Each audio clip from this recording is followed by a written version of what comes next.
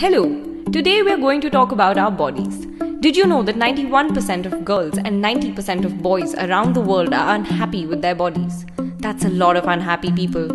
And the media has played a large role in making us feel this way. We are told we should be taller, fairer, thinner, darker, shorter, more beautiful, more muscular, more this, more that. Everyone else but ourselves. Sometimes the people we are closest to can make us feel the worst. Beta, you're too skinny. That dress makes you look fat. Wear something else. Why can't you be more like Rohan? Look at Rima, she's so fair. I told you not to go out into the sun. Do we only want to be defined by the way we look? Is that all that matters? Or is it more important to be happy, healthy, strong, and confident? You pick.